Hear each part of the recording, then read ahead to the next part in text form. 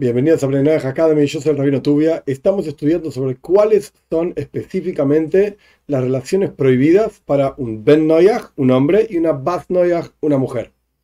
Ahora bien, para entender este asunto, hay básicamente dos versículos que nuestros sabios muestran cómo esos versículos expresan esas prohibiciones. Pero es importantísimo entender que no es que aprendemos esas prohibiciones de esos versículos. No, los versículos están hablando de otra cosa.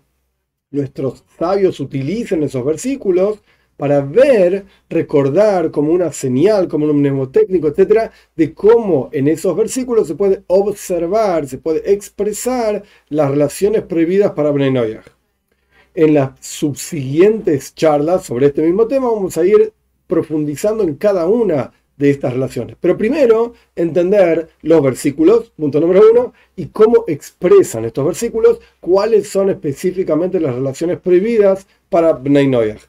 Uno de los versículos, el primero está en Parshas Breishis, en la primera parasha, la primera sección de la Torá, en el comienzo mismo del, del relato de la Torá, donde Dios le dice al primer hombre, básicamente, por lo tanto, es bueno que esté acompañado, etcétera, no es bueno que esté solo, etcétera, etcétera, le da una mujer, por lo tanto, va a dejar el hombre a su padre y a su madre y se va a pegar a su esposa y serán una carne. Este es el versículo.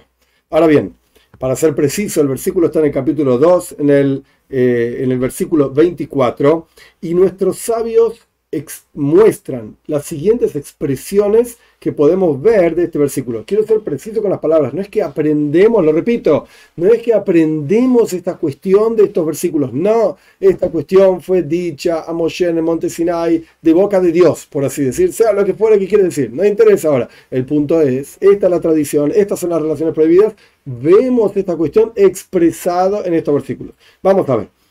El versículo dice que un hombre va a dejar a su padre.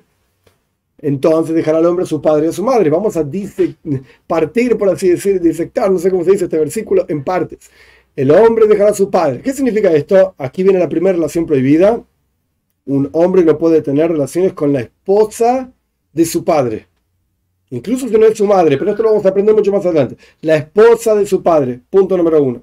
Luego el versículo continúa diciendo va a dejar a su madre, va a dejar a su padre y a su madre. Su padre nos enseña que no puede estar con la esposa del padre. Y a su madre, que no puede estar con su madre. Literalmente esto es lo que significa. Continúa el versículo diciendo se apegará a su esposa y no a la esposa de otro.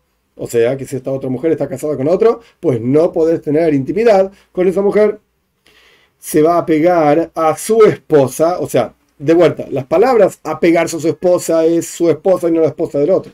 Su esposa significa esposa, es una mujer y no con un hombre. La homosexualidad entre hombres está prohibida como una de las relaciones prohibidas bajo pena de muerte, que ya explicamos mil veces que la pena de muerte no se aplica, etc. Pero sea como fuere, es una prohibición gravísima para Pneinoias, para judíos también, pero ahora estamos estudiando sobre Pneinoias. Entonces, se apegará a su esposa, no a la esposa del otro. Su esposa y no un hombre. Y serán una carne. Esto te enseña que tiene prohibido la relación con animales, tanto si es un animal doméstico, un animal salvaje o un ave, no importa la forma que sea, etcétera, está prohibido. ¿Por qué? Porque en esa situación no hay una carne, no hay nacimiento, no hay nada que surja de una relación entre un ser humano y un animal.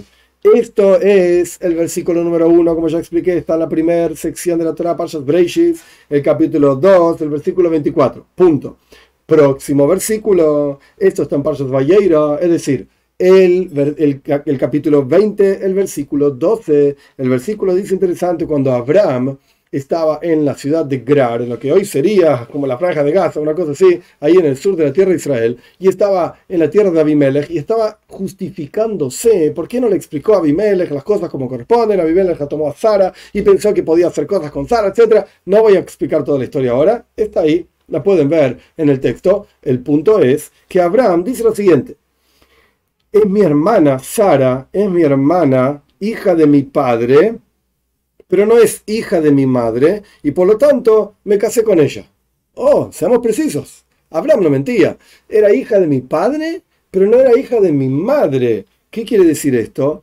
Que efectivamente para Bnei tu hermana de parte de tu madre está prohibido. Pero tu hermana de parte de tu padre, que no es tu hermana por parte de tu madre, sería una especie de hermanastra, en ese caso está permitido. Lo mismo se aplica exactamente para mujeres.